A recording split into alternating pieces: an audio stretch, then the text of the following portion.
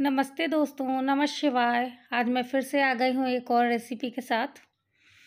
तो आज मैंने बनाए हैं पकौड़े, जो हरे वाले प्याज होते हैं उसके। तो प्लीज़ वीडियो को पूरा देखिए। और अगर पसंद आए तो बाद में सब्सक्राइब कर देना और लाइक कर देना।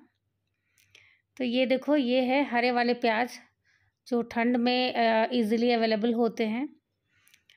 तो इसको पहले हम कैसे करेंगे कि इसका जो ये नीचे वाला जड़ है ना, इसको पहले हम अलग कर लेते हैं। और उसके बाद ये जो इसका लीफी पार्ट है ना, जो ग्रीन वाला पार्ट, इसको हम बिल्कुल जैसे कोई भी साग काटते हैं ना, उस तरीके से काट देंगे। दिखाती हूँ मैं आपको। इस तरीके से बड़ा सा बर्तन लेना है और उसमें काटना है। ये ऑलरेडी धुला हुआ है बट मैं काटने के बाद फिर से धोऊँगी इसको। तो देखो, ये मैंने ऐसे काट लिया है पूरा। स्प्रिंग अनियन बोलते हैं इसको। और सग्गा प्याज भी बोलते हैं गाँव में। हरा प्याज इजीली सब बोलते हैं। उसके बाद ये मैंने धनिया लिया है, इसको भी मैं काट लूँगी रफली क्योंकि ये धनिया पत्ता से ना फ्लेवर बड़ा अच्छा आता है। और पकौड़े में अगर आप साबुत धनिया को थोड़ा सा क्रश करके डालो ना तो उसका भी फ्लेवर बहुत अच्छा आता है, कभी फिर दिखाएँगे आपको। अब ये जो नीचे वाला पार्ट है ना, इसको इस तरीके से क्लीन कर लेना है। मतलब ये मिट्टी में था और अभी ग्रीन है तो इसलिए इसका एक दो लेयर हम क्या करेंगे कि निकाल देंगे। तो ये देखो, इस तरीके से एक दो लेयर हमें निकाल देना है। अब ये अंदर से एकदम साफ़ आ गया है तो इसको हम पतले पतले स्लाइसेस में इसको भी काट लेंगे। और इसके डंठल को भी इस तरीके से काट लेंगे। बस ये है, काटने में थोड़ी सी सावधानी रखनी पड़ेगी, क्योंकि जो हरा वाला प्याज होता है ना, वो बहुत फिसलता है। तो अगर चॉपिंग बोर्ड का यूज़ कोई नहीं करता है, जैसे कि मैं तो हाथ कटने का डर रहता है तो सावधानी से काटना है। मैं चॉपिंग बोर्ड पे इजीली काट नहीं पाती हूँ मुझे यही इजी लगता है। तो देखो मैंने काट लिया इस तरीके से। अब इसको धो देना है। और धो के ना इसका, इसका पूरा, पूरा पानी निचोड़ निचोड़ लेना है। देखिए कैसे धो रही हूँ। ये मैंने अच्छे से इसको निकाल लिया है। अब जो भी थोड़ा बहुत बचा हुआ पानी था वो भी मैंने निकाल लिया है इस तरीके से। अब इसमें हम डालेंगे थोड़े से सूखे मसाले और फिर हम इसमें बेसन डालेंगे। तो सबसे पहले मैंने लिया है नमक। नमक स्वाद के हिसाब से होना चाहिए। पकौड़े में नमक ज़्यादा अच्छा नहीं लगता है। तो थोड़ा कम हो चलेगा, बट ज़्यादा नहीं होना चाहिए। उसके बाद मैंने लिया है थोड़ी सी हल्दी पाउडर, एक चम्मच धनिया पाउडर और मैंने आधा चम्मच जीरा ऐसे साबुत ही डाल दिया है, पाउडर ख़त्म हो गया था तो। और उसके बाद मैंने लिया है थोड़ा सा अजवाइन मतलब हाफ़ टी स्पून के करीब अजवाइन लिया है।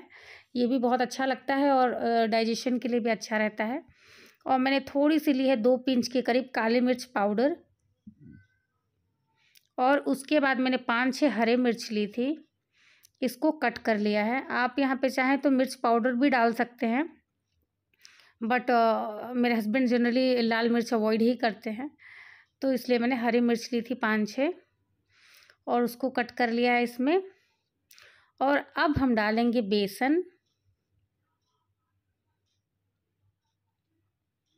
अच्छा बेसन एक ही बार पूरा नहीं डालना है क्योंकि बेसन बहुत ज़्यादा भी नहीं होना चाहिए सिर्फ़ इतना ही होना चाहिए जितने में ये जो प्याज है ना वो अच्छे से बाइंड हो जाए।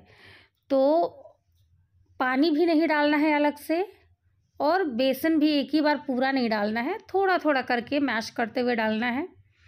तो देखिए कैसे मैं कर रही हूँ। इससे ना अंदाज़ा लग जाता है कि कितना बेसन होना चाहिए। बेसन बहुत ज़्यादा हो जाएगा तो भी पकौड़ा कुरकुरा नहीं बनेगा। तो इसलिए बेसन धीरे धीरे करके डालना है और प्याज में भरपूर पानी है क्योंकि हरा प्याज है तो बाहर से पानी भी नहीं डालना है। इसी के पानी में इसको इस तरीके से मिक्स करना है।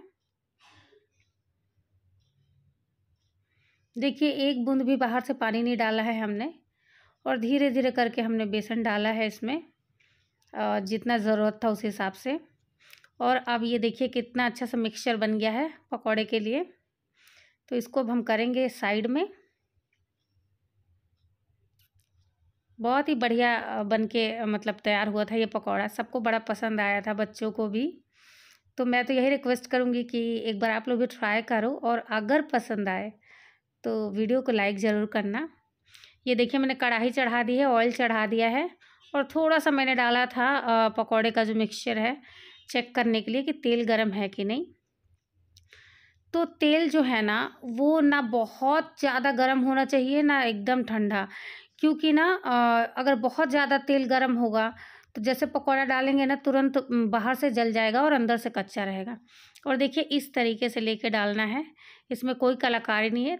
धीरे से उठाया थोड़ा सा और ऐसे डाल दिया। कोई शेप देने की ज़रूरत नहीं है। अपने आप ही शेप आ जाता है। आप चाहें तो स्पून से भी उठा उठा के डाल सकते हैं। इस तरीके से पूरे कढ़ाई में मैंने डाल दिया है।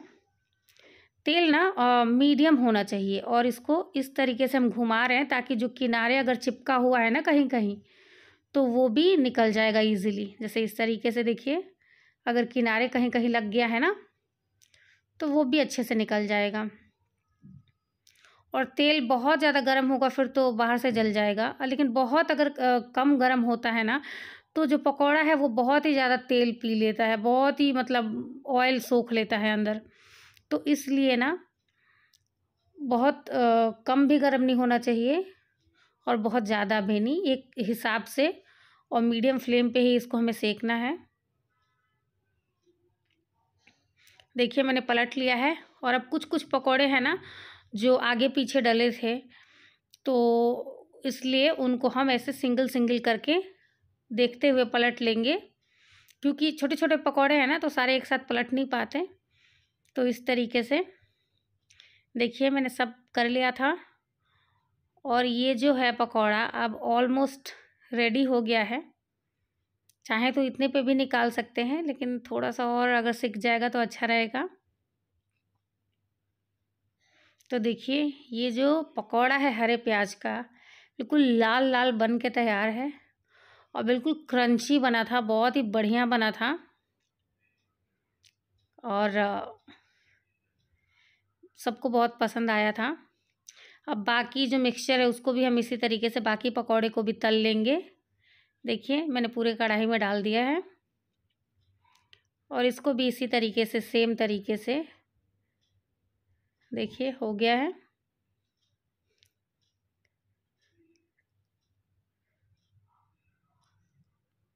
ये चाय के साथ शाम को बहुत अच्छा लगता है, ये वाला पकौड़ा। और जनरली ये जो हरा वाला है वो सर्दी में ही मिलता है तो इसलिए तो बनाना ही चाहिए इसको। बाकी पकौड़े को भी हमने निकाल लिया है। और ये है हमारा आज का पकौड़ा, जिसको हम हरी चटनी, धनिया की चटनी के साथ और हरी मिर्च जो भुनी हुई है, उसके साथ सर्व किया है। तो वीडियो अगर पसंद आए तो प्लीज़ लाइक करिए।